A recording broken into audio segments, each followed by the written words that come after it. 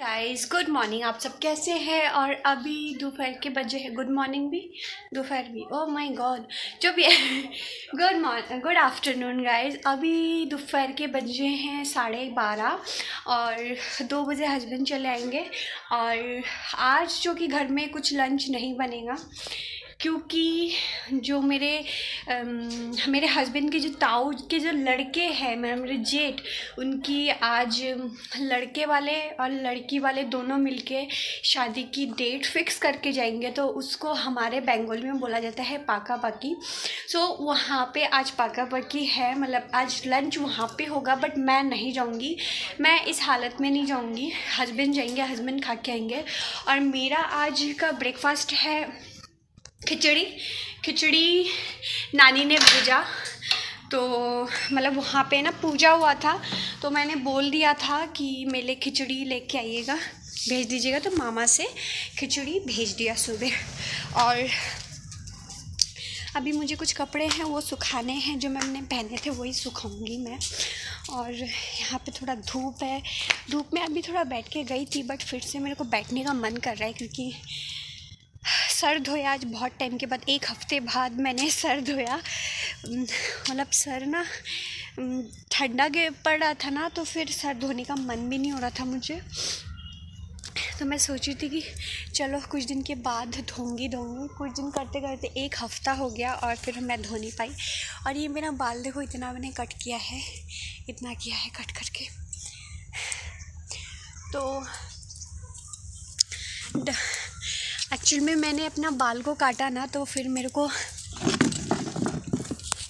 फिर मेरे को डांट पड़ी थी काफ़ी घर से। पापा ने बहुत डांटा था मुझे, क्योंकि बाल नहीं काटना है, क्योंकि एक तो लंबे बाल थे मेरे, और ऊपर से किसी किसी पेरेंट्स को पसंद नहीं है कि मैं अपना बाल काटूं।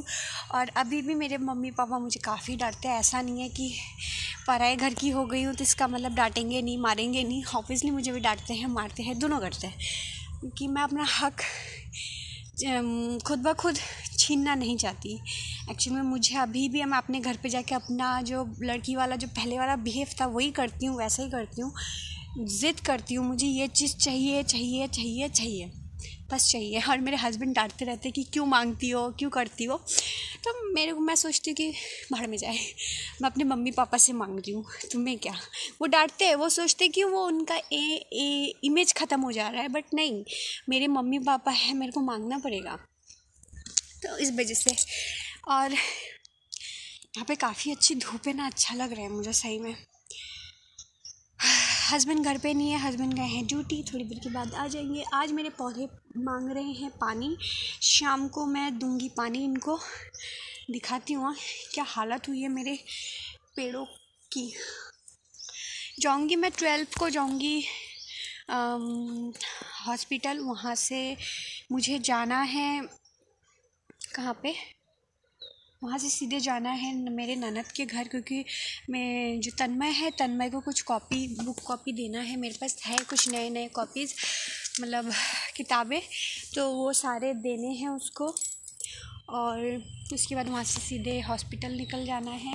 फिर आते टाइम मैं जाऊँगी नर्सरी नर्सरी से लेके आऊँगी काफ़ी सारे फूल। मैं आप सबको दिखाती हूँ अपना गार्डन देखो, दोपहर का गार्डन तो ना अभी देखो इसमें रोज़ उतना आ नहीं रहा है। अभी आएगा ना बड़ा बड़ा है कुछ दिन के बाद आएगा। इसको ना ये तोड़ देना चाहिए पता है? इनको देख के ना फिर ये ये वाले ना ये वाले डीमोटिवेट हो जाते हैं। इस वजह से ना हमेशा मैं क्या करती हूँ इनको तोड़ देती हूँ। हम्म, इनको ना हमेशा तोड़ दिया करें। कुछ भी सूखा पेड़ वेड़ अगर पेड़ में हो ना, तब तोड़ दिया करें। क्योंकि ये फिर उसके बाद डीमोटिवेट हो जाते। देखो यहाँ से ना, ये सूख गया था, फिर मैंने फिर मैंने काट दिया यहाँ से। फिर ये लोग उगना नहीं चाहते। और यहाँ पे मेरे ऑरेंज कलर का क्या हाल है? ऑरेंज कलर वाला, ये देखो। ऑरेंज कलर वाला मोस्टली हो रहा है, थोड़ा बहुत, बड़ा बट हो जाएगा। और यहाँ पे, देखो, यहाँ पे उस दिन फूल लगाया था ना यहाँ पे, सीधे। तो आपको एक चीज़ दिखाती हूँ। देखो, इसमें छोटे छोटे फूल के कलियाँ आने लगे हैं। तो सोचो, बेफालतू इधर उधर फूल होगा तो उससे अच्छा हम यहीं लगा ले। तो यहाँ से लाइन से मैंने फूल लगाया।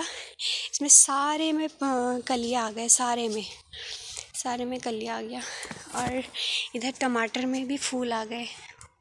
इधर भी धैलिया का पेड़ लगाया था, वो भी आ गया क्लीन करना है, मुझे काफ़ी टाइम हो गया ना क्लीन नहीं करवाया ताऊ से तो ताऊ जी से मैं क्लीन करवा दूँगी ये सब। इस मिर्च में ना, बिल्कुल मिर्च नहीं है, अब इसमें डाई वाई डालना पड़ेगा ना, फिर मिर्च होगा अच्छे से। एलोवेरा पूरा मरा हुआ लगाया था, बच गया मेरा एलोवेरा सुबह ना, मैंने रितु से इस गाउन को ना शॉर्ट करवाया बट फिर भी देखो शॉर्ट मतलब उतना हुआ ही नहीं, फिर भी लटक रहा है नीचे। कोई ना, थोड़ी देर बैठूँगी यहाँ पे और उसके बाद मैं सीधे अंदर चली जाऊँगी, क्योंकि हवा चल रही है थोड़ी बहुत। काफ़ी अच्छा भी लग रहा है सही में, धूप में बैठ के मज़ा आ रहा है। बाहर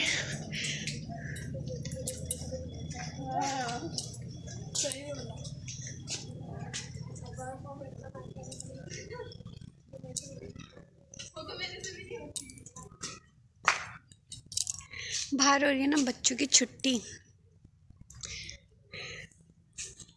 बच्चों की छुट्टी हो गई है बच्चे जा रहे हैं जिस दिखाती हूँ मैं अभी देखना लाइन लग जाएगा।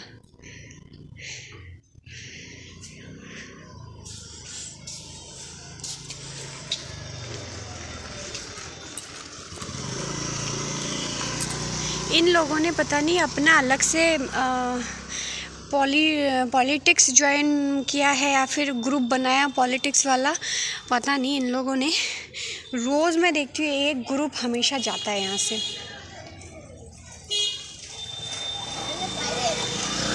और ग्रुप ऐसा वैसा भी नहीं मतलब ग्रुप मतलब